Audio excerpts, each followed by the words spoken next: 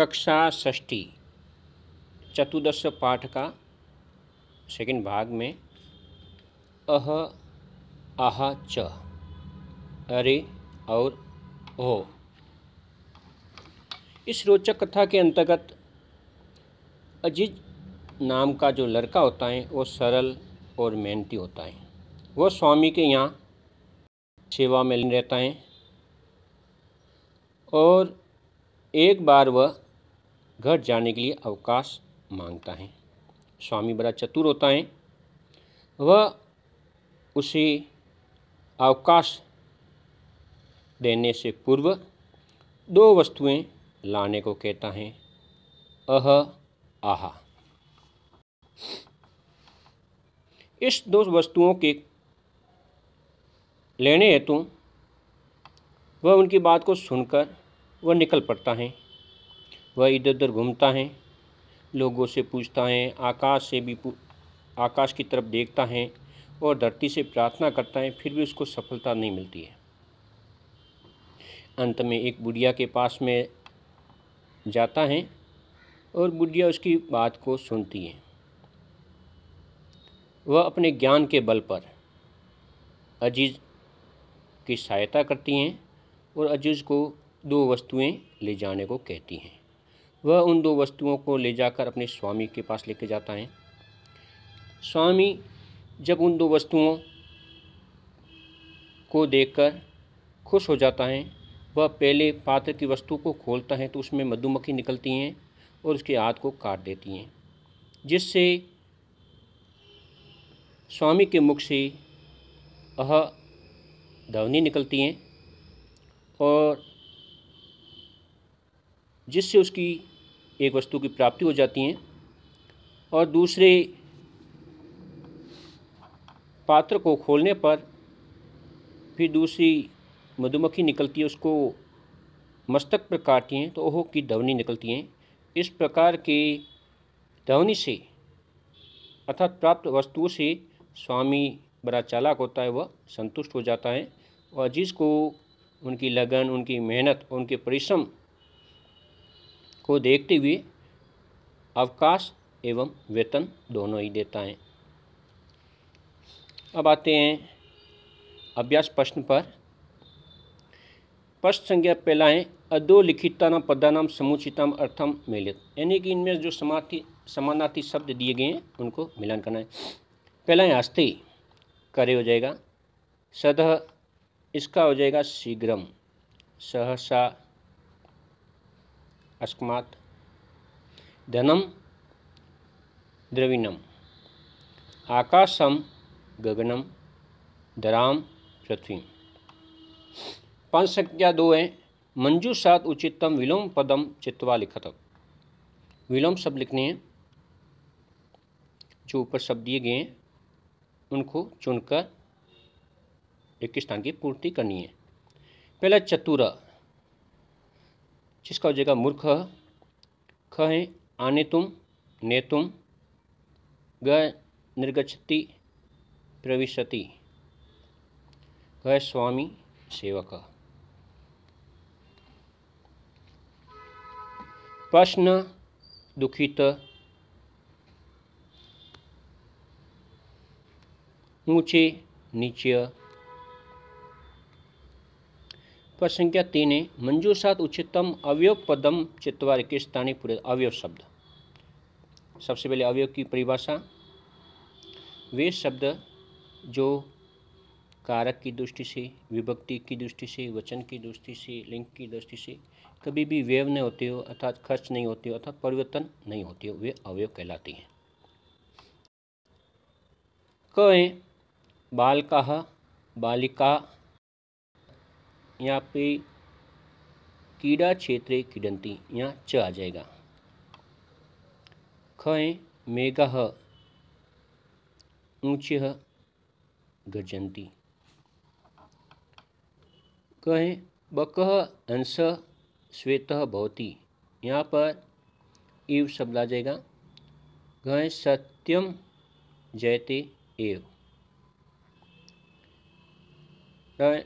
अहम पठामी। त्वम पठ, यहाँ अपी आ जाएगा। पद संख्या चार है। अधोलिखिता नाम प्रश्नानाम उत्तरम लिखत। निम्नलिखित प्रश्नों के उत्तर लिखने हैं। अज़ीज़ ग्रह तुम गंतुम किम वाचती? अबे अज़ीज़, घर जाने के लिए क्या माँगता है? क्या इच्छा रखता है? उत्तरम अज़ीज़ ग्रहम गंतुम, अवकाशम वास्ती। अज़ीज़ घर जाने के लिए अवकाश माँगता है। ख स्वामी मूर्ख आशित चतुर वाह। ख प्रश्न स्वामी मूर्ख था अथवा चतुर? यहाँ आ जाएगा स्वामी चतुर आशित। गए अज़ीज़ काम व्यर्थम साव्यति। इसमें लिखा हुआ है कि अज़ीज़ किन किन को व्यथा सुनाता है। अब यहाँ पर हैं अज़ीज़, जनाम, आकाशम, धरा एका वृद्धा च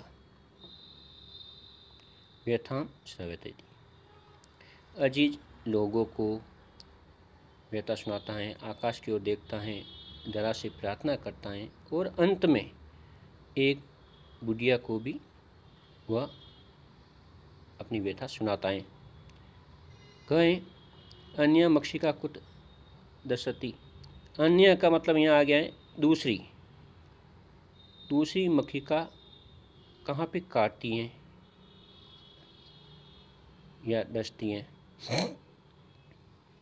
यहाँ आ जाएगा। अन्य मक्षिका ललाटे दशती रहे स्वामी, अजीजाए किम दातुम न इच्छति अबे स्वामी, अज़ीज़ को क्या देना नहीं चाहता? उत्तरम, स्वामी, अजीजाए अवकाशम वेतनम च दातुम न इच्छति स्वामी, अज़ीज़ को अवकाश और वेतन नहीं देना चाहता था। पद संख्या पाँच है।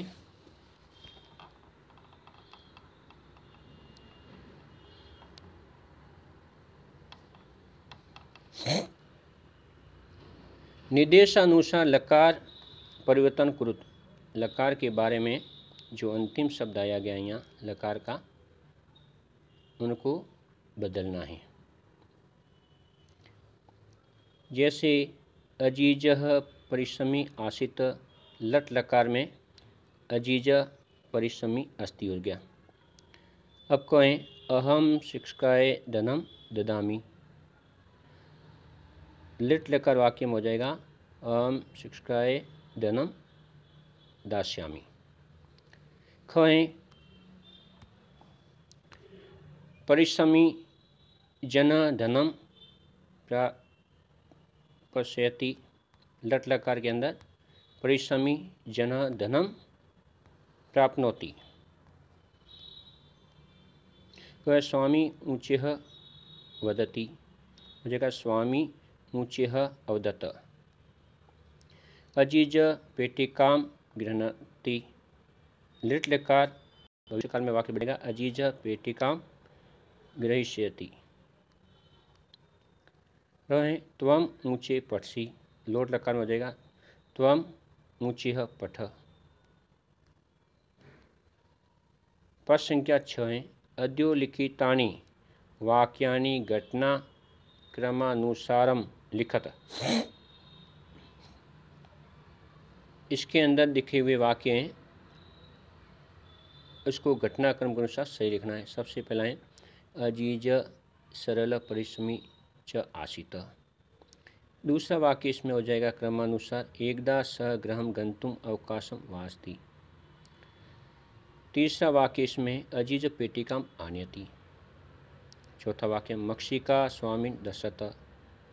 पांचवा वाक्य इसमें हो जाएगा, पीड़ित स्वामी अत्युच्चे चित करोती। और छठा हो जाएगा, स्वामी अजीजाय अवकाशस्य पूर्ण धनम ददाती। इन चतुर्दश के पाठ को और अभ्यास कार्य को, इस रोचक कहानी को पूर्ण दौरान करना है और इन प्रश्नों को सुंदर लेखन के साथ में लिखना है।